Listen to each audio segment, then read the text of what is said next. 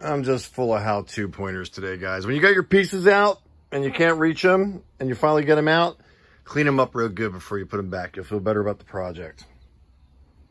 And also, um, I could have replaced this thing. We could find it, but it was pretty easy just to put little brackets on it. So we put three brackets on it and we're gonna put the car back together again. And uh, I cut them out of plastic and then I glued them together. It worked out pretty well. And that's it.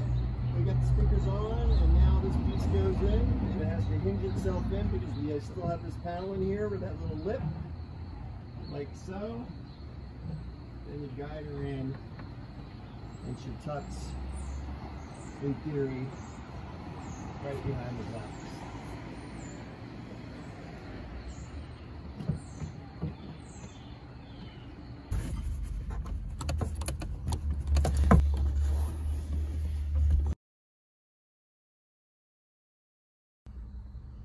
All right, clips are in.